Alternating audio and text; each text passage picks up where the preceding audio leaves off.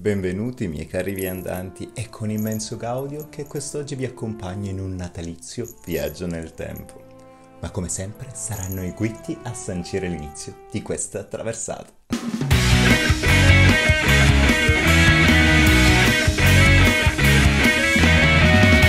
I mercatini di Natale qui in Germania sono tanti e ognuno ha la sua particolarità. E questo qui di Esslingen è proprio il mio preferito. Ed indovinate il perché? Perché si tratta di un mercatino di Natale medievale.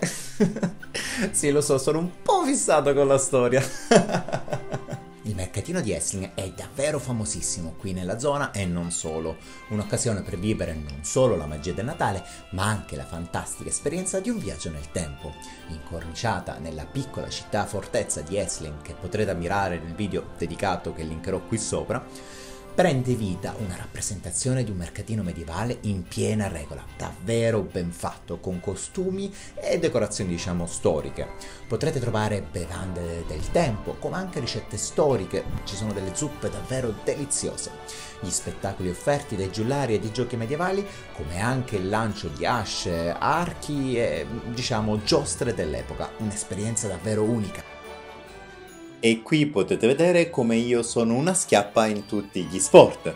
Non potete capire come quell'uomo, diciamo, cercava di insegnarvi a tirare con l'arco ed io... Beh, diciamo che il centro ci sono riuscito a prenderlo mai. Per un paio di settimane Esslingen ritorna nel passato, regalando emozioni ineguagliabili ai suoi visitatori. Potrete vedere tanti artigiani che confezionano pellami o intagliano il legno proprio come si faceva in passato. Non si può non rimanere affascinati da questo mercatino, non trovate la combo perfetta sarebbe andare vestiti con vestiti medievali, ma credetemi c'è davvero troppo freddo e quindi a meno che non vogliate scuoiare un intero gregge di pecore vi consiglio di desistere. Tra le specialità che si possono gustare qui è il goulash di cervo, davvero delizioso, è il pane fatto a legno, come si faceva una volta, insomma, una delizia. Ma non solo piatti tipici, anche eh, delle bevande, come l'idromele, che si può trovare soltanto in questo mercatino di Natale ed è davvero buono, molto dolce ma saporito. Ma non solo mercatino medievale, a Esslingen vi è anche il mercatino di Natale normale, con tante cose buone da mangiare, ma soprattutto tante cose bellissime da comprare. E quest'anno è stato anche particolarmente più esteso rispetto agli altri anni. Insomma, per avere molte più idee per i regali di Natale. Si dice sempre che le grandezze non contano, ma non in cucina. Mezzo metro di pura bontà.